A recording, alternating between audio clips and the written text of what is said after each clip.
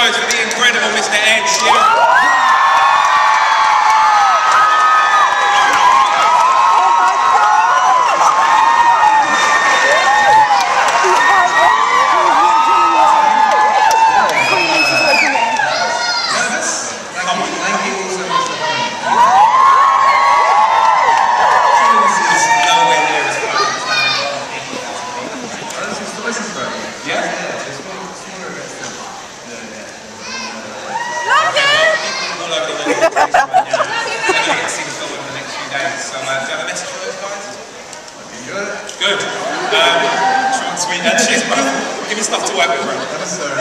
on Twitter, uh, you put out the hashtag EdCarpet and asked people to get in touch. Yeah, I just, I just want to say I didn't come up with that name, I, I did. I think it's genius. Yeah. It's nice, it sounds like a band or something. Alright, so uh, EdCarpet was a hashtag a loads of questions come in. We should probably ask a few now. Ginny Bear asked you the question, uh, if you could choose any character from the film to be in, which character would it be and why? Uh, just say that. No, probably Nemo. Nemo? yes! Uh, why Nemo? Um, I don't know, I don't know, I saw, um, I saw uh, Rio 2, and Bruno Mars was the voice of one of the prostitutes, and I was like, oh, I want to do that. Yeah, okay, well, uh, you've got your guitar on, and I'm sure they're probably all with their mentor. Uh, yeah. Uh, would you like to play some songs? Yeah. yeah, Yeah. we've got loads more to get through, so over to you. Make some noise for a! Um, hello everyone, thank you very much. This is a, this is a very, very surreal event for me. Um, so uh, I'll try and make it as, as less weird as possible. I'm going to.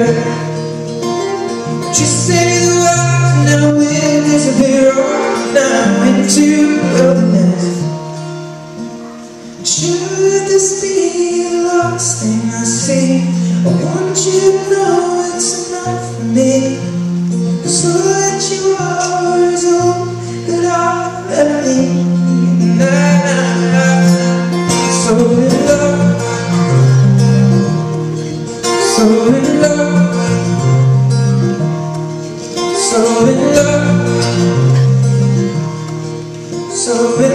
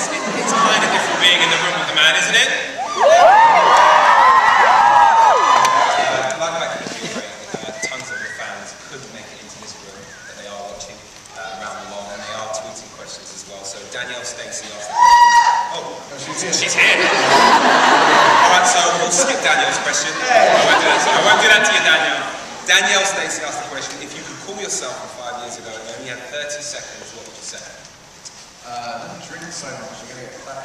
That's good advice. Very good advice.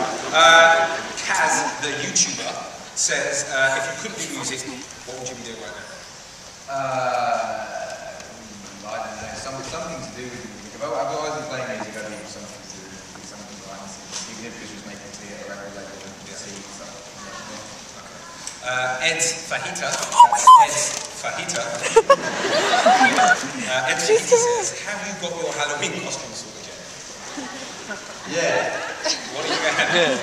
I don't know. I, I, I, I mean, Please say Justin Bieber. Well, I, I mean, half the people that are going to have party here today, I want them to like Right. see it, you know?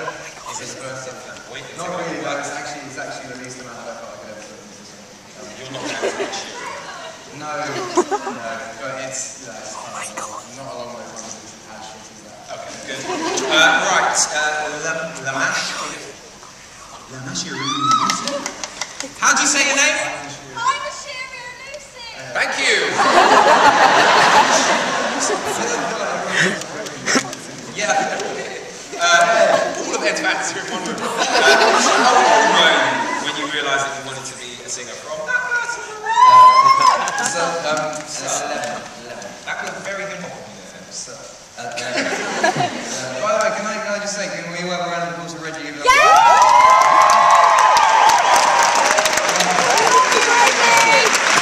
First of all, that's. Second of all, I've known this guy for a very long time. When I first met Ed, when he came to a Christmas party that I threw at the time, he was sleeping on the couch of Jamal from SBTV's. Uh, somewhere, he's up there somewhere. So at that point, Ed was coming to London and sleeping on friends' couches, and to see him here is an amazing thing. So remember around applause for this one. Uh, all right, let's start massaging other. Uh, should we get to another song? Yeah, that, that just got really weird. We love you, Ed. Uh, one more song. Um, see, um, I want to play a song, like, I don't, I don't have a loop pedal at the moment because it's being shipped to Australia. Ooh. So anyone who's watching this in Australia, um, yeah, there we go. uh, this is a song,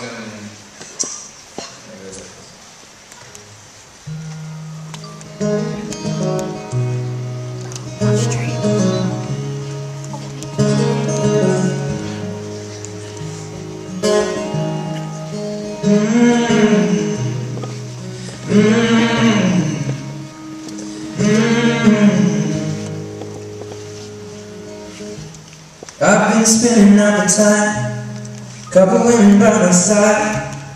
I got spinning on my mind, sipping on red wine. I've been sitting there for ages, ripping out the pages. How'd I get so faded? How'd I get so faded? Oh no, no, don't leave me lonely now. You love me, how'd you never? Oh,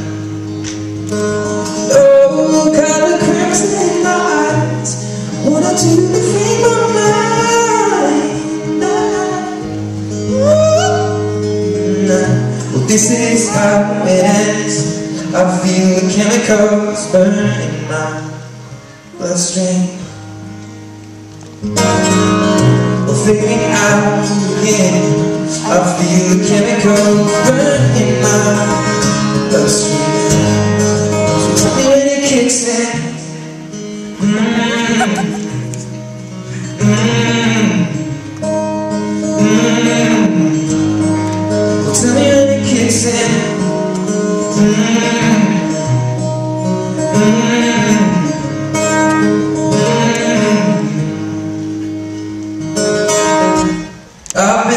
for love Thought I'd find her in a bottle God make me number one. I'll be feeling this tomorrow. Lord forgive me for the things I've done. I was never meant to hurt no one And that's so scars upon a broken hearted love. Oh no, no, don't leave me lonely now. If you love me, how you never learn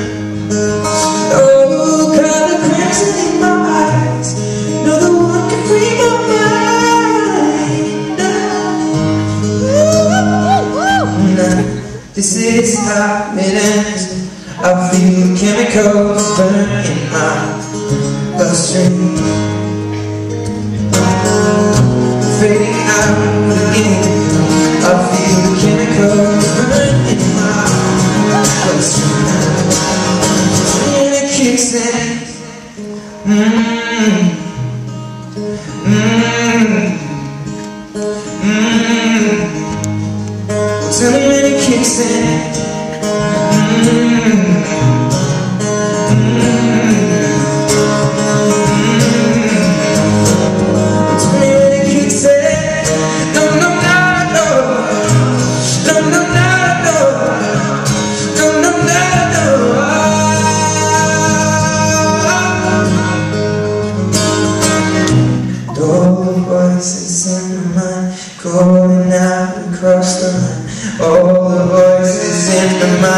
calling out across the line. All the voices in my mind calling out across the line. All the voices in my mind calling out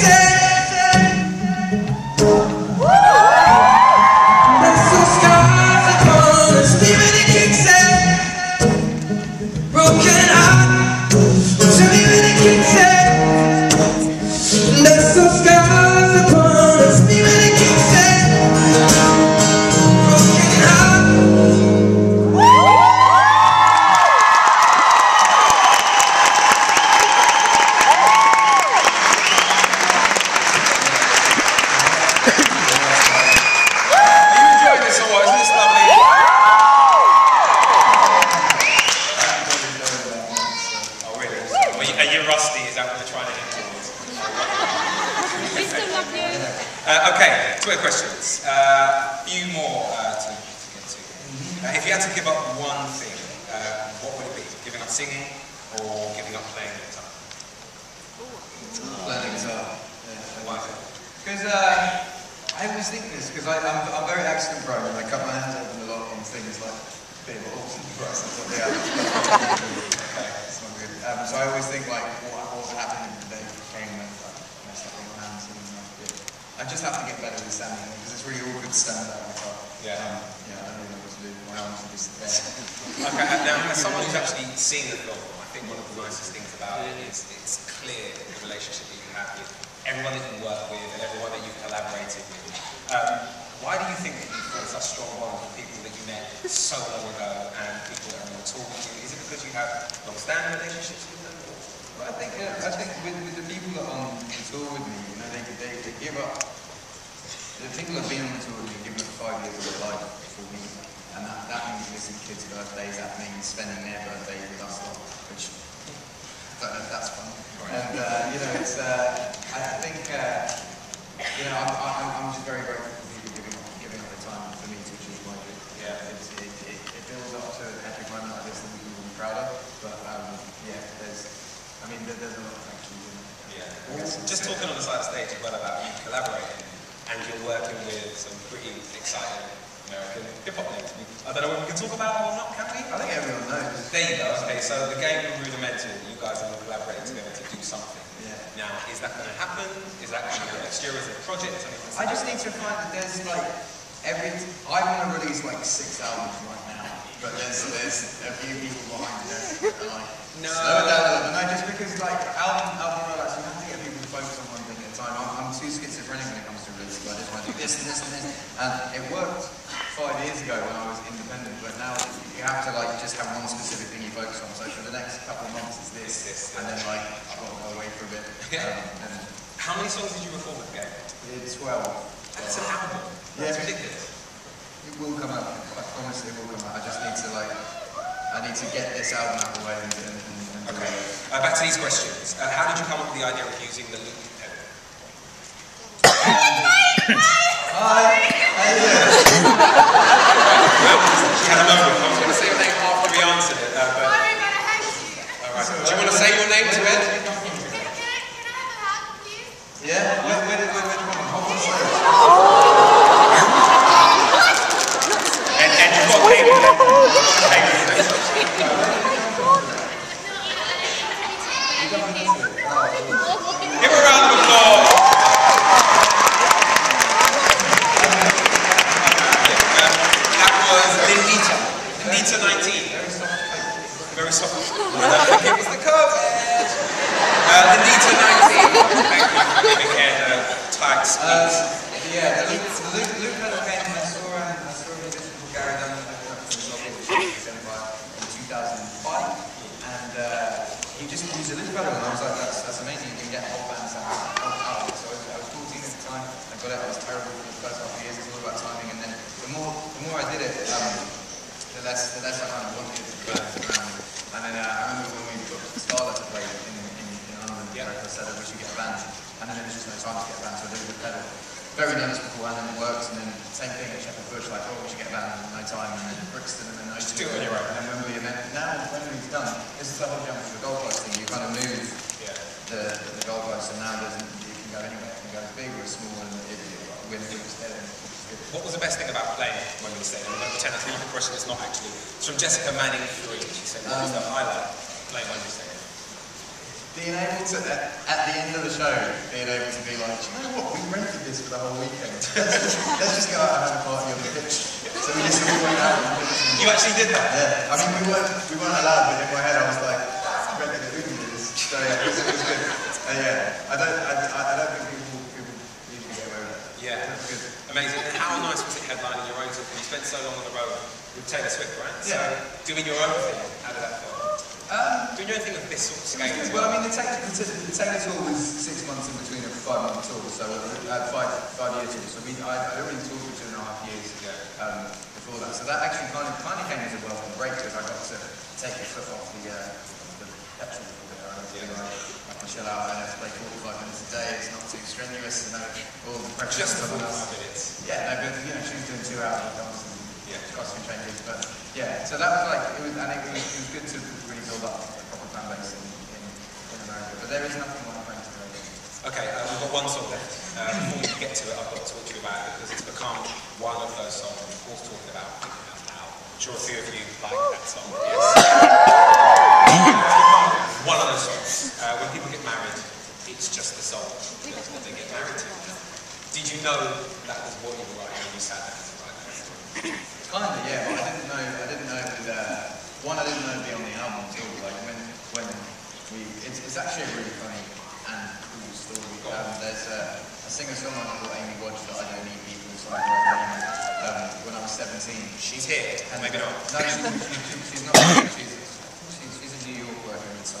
someone huge, um, someone big enough that she was like, I can't, I can't tell you who it is. Um, yeah, so she, we did, we did a bunch of songs when, when I was 17, and uh, she was going through, uh, I, I wish she wasn't saying this, but she was going through fin- financial troubles about um, a year ago, and she drove down to my house. My album was complete, and she drove down to my house to ask me if I could put a song that I when I was 17 on uh, the deluxe album, so she could get a little bit of publishing money that she could play my the, the movie and stuff. And while she was there, we were thinking out loud, and now she never has to worry about anything again. It's quite, it's quite. It's, it's a really, it's a really nice story to her. Every time I speak to her, she's, got, she's two kids and a husband, and she's, always like, oh, I'm going to live all day here, or working with this person. It's just really nice to see all of that come together, and it wouldn't have happened if she hadn't driven down from Wales to Suffolk to just sit in front of me. Do you, do you feel like it's your song, or do you feel like you sort of just let it go? You've given it away now. Yeah, it kind of belongs to like uh, maybe five or six times a day. I think I'm doing a wedding message for someone, and it belongs to all, all of those people that get married and fall in love with. I'm getting married next year, Ed. Oh yeah. Me too. I wish you probably get that. She probably gets that. Go back, fine. Something very weird. Um, Ed, we should probably get to the song. Uh, ladies and gentlemen, please make some noise for one of the nicest men in music.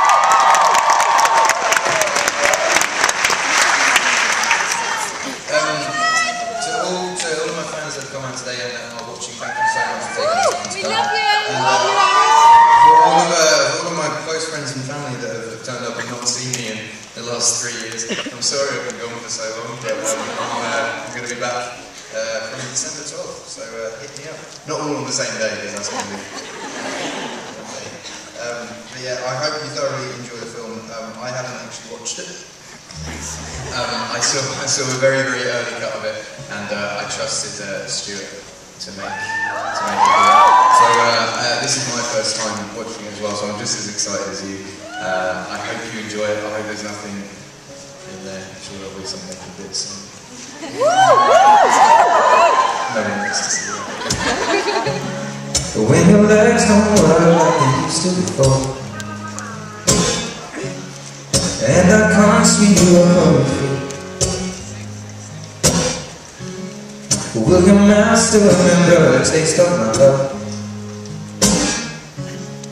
Will your eyes still smile from your cheek? The night will be loving you Till